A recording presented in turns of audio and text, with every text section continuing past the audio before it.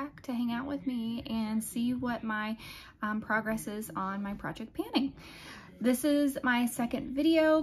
It's only a month in and I feel like I've made some pretty good progress on certain things, but I am realizing that I am slightly young person in um, project panning. I haven't done this um, for a while and I haven't done this consistently. And so to show you my progress is going to be a little tricky because I should have done some things ahead of time that I did not do, um, including doing weights on certain things that I cannot see um, progress on because I feel like that would have made me feel a lot better about what I'm doing on certain things. But Nevertheless, what I'm going to do is I took some screenshots from my video previously. From here on out, I will be taking pictures of everything. I will be getting weights on everything. And I will also uh, do um, how many uses um, that I have done used certain prod, uh, products to give you guys a little bit of a better view of how much progress I am making. And I think that would make me feel better too because it's fun to see all of the progress um, where I can. So with that being said, let's go ahead and just jump into it. So first and foremost, let's go ahead and I'm just gonna kind of do it in the progressive order that I would as if I was putting on my makeup. So first things first, let's go through my primers. So first one is the Tatcha Silk Canvas. This one you guys should see really significant progress on because if you see right there, that is what I have done. And I will show you a picture. It's going to be super blurry. Please do not do not get mad at me, but um, you can still see even with the blurriness how much progress. So I really think I should be able to get this done within this next month and get this out of my project, which I'll be super excited about because this is something I will not repurchase. The other one, this is one that I actually did do a little bit better of a job showing progress. So this is where I started. This is where I'm at. So making slow progress, but I haven't used it consistently. So that's actually pretty good progress for me, I would say. So I probably gonna be in here for a hot second, but if I use it a little bit more consistently, I'm thinking I can maybe get this out within like three months, three months, right? So there's that. Now, foundation wise, um, I, this is where weight would probably work really well. So I have been using this. Um, it still feels like it's going really strong. This is a little too dark for me. I am a pale person. So I've been mixing it in with this. And again, it is very hard to sit there and see the difference. I can look in here, sorry, my child's in the background watching um, some YouTube. So um, I wonder if I, so kind of where those squiggles are, the bottom of that squiggle is about how much I have in this. And I would probably surmise that this is probably also halfway done, but it is two foundations that I'm working on at the same time. So this is probably gonna take me a little bit of time to get this out of my project. Because even though this feels lightweight, the foundation's lightweight. So that's a little iffy. So my next one is my Milk Makeup Concealer. This is something I will not be repurchasing again. This is the Sunshine Under Eye Tint Brightener. It's a little too liquidy for me when it comes to a concealer. This is probably nice if you want more of a natural and something that doesn't have a lot of coverage. But I also don't like the ball applicator because this just, it doesn't do anything to kind of push in and I don't know, it's just a weird applicator. I don't really like it. But this one I did, I did this marking a little bit on the later side, so it's probably a little bit farther down. Um, so I'm up here. This is a packaging that you push it and it pushes the, the product up. So we'll be seeing progress going this way. So I try to use it pretty consistently, but it's not my favorite, you guys. So this is another one that would be probably a very good one to weigh. Um, like what I said, this is a very small, small mini version of the Rare Beauty Enjoy. I need the tiniest little bit to go a very long way because look at how pigmented that is. And then literally, look at that. I mean, it blends out beautifully. I really enjoy how it looks. But that's one heck of a pigmented found, ah, not foundation, blush, if I do say so myself.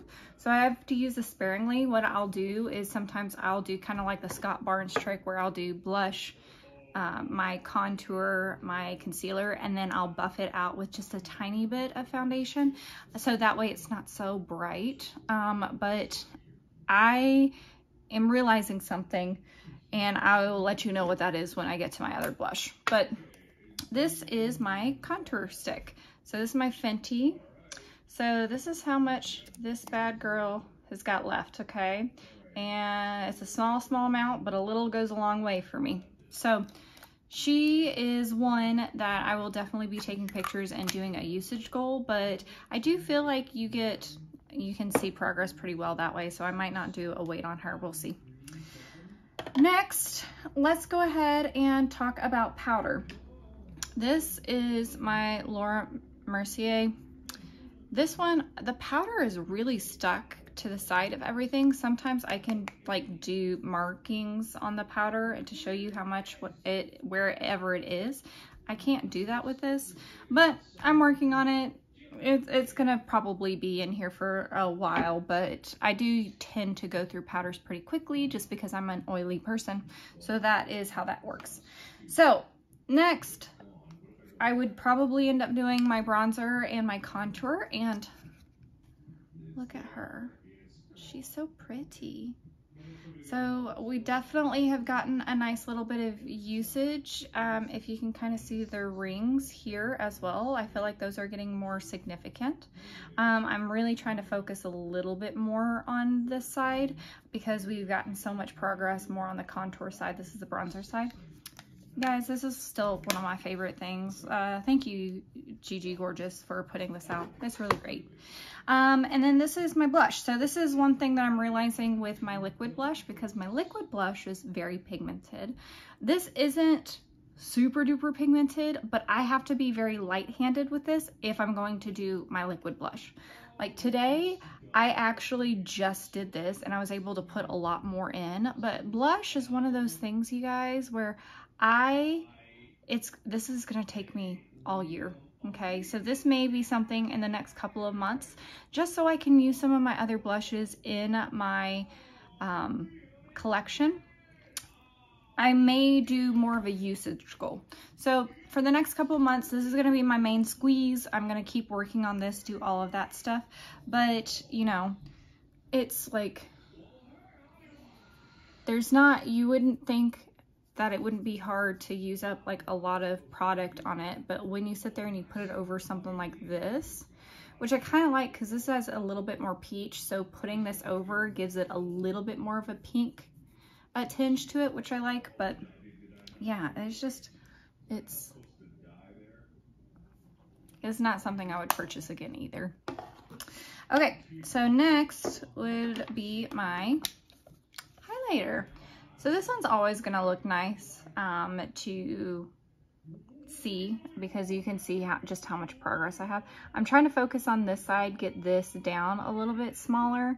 Um, and I'm hoping that, again, I'm going to take pictures so you can see them better. The one that I have for my video is going to be super blurry, but this hopefully you'll still be able to see a little bit of progress there. And then the pink one, I'm getting a little bit more of a dip in my pink one. So uh, that's always super duper nice to see. So I'm to keep working on this. Again, my biggest goal here is I just actually want to finish this highlighter up. So they're fairly soft. So I'm hoping that that's not to be too big of a thing. Next is my eyebrow. So I didn't do use this today just because I wanted a little bit softer eyebrows, but you're gonna see huge difference in this one. I'm like super excited, you guys. You're gonna see a huge difference. So that is it. look at it. Look at that huge line. So uh, before you could see just a tiny bit, um, and then now we've got a huge difference. Now, what I'm going to hopefully sit there and do is I'm going to start weighing this because definitely when we start working on more of the sides, we're probably not going to see a huge difference, uh, but hopefully we'll see a difference in weight specifically. And then of course I'll do how many times that I've used this. And then this one I'm super excited about. So this is my eyeshadow palette. Okay. If you remember what I said previously, this one is a. Uh, I already had pan in. Okay. So that is looking a lot better. This I did not have pan in. I was pretty close. I knew I was, but we're, we got pan there. Um, I don't know if you guys can tell, but this one actually has pan in it itself. So let me get, there we go. So you can kind of see it. So there's pan there and there's also pan here. So I'm doing a fantastic job with this. Um, I, I love that. I've used this color a couple of times. It's still just not my favorite, you guys. So this might be one of those things where I literally just focus on almost finishing all of these. And then these two, if I hit pan, fine, whatever. If I don't, I'm not too worried about it. I may go ahead and declutter it if I finish all of these other colors.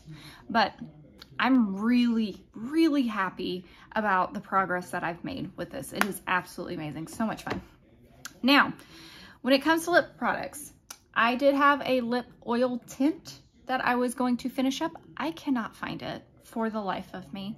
And in all honesty, I'm not too upset about it. It was not, it was, I it said that I kind of go back and forth. The last couple of times that I've worn it, it's just settled into absolutely everything, especially because my lips are a lot more dry because it's winter and it just does not look good, you guys. I don't know what it is about it, but it, it's just, it's not good. So I, if I find it, I'm going to declutter it. I'm not too worried about that. I've got other lip products that I want to keep working on. So let us talk about my Tower 28. So this is actually sitting up. This one's been standing up. So you can see that this is kind of where we're at. This is right at the T. I haven't used this since I've made my other video, so it makes sense that it was actually, I'm kind of impressed the fact that I knew it was going to be at the T with the way that it looked because it was on its side. So I'm going to start working on this again. Um, but more than anything else, my main thing that I'm going to be focusing on, if I can make sure I know where it needs to be, because this is something that I can easily apply. But this is my Bare Minerals, okay? And to me, from what I can see, it's come down a nice little bit. So again, very easy to apply it definitely you're probably going to see me every single video that I show this off until it's finished. I'm going to reapply it on video. But um, it's just really hydrating and it feels good. Um, and so it comes off really easily. So this is one of those things where it's actually really easy to reapply because it doesn't stay super well. If you want a lipstick that stays really, really well. This is probably not it, but it does fade nicely. And like what I said, it kind of hydrates the lips. So this is something that I really, really, really enjoy. Um, other than that, I did have one um, little perfume sample that I finished up. Um, it was my Gucci Bloom one.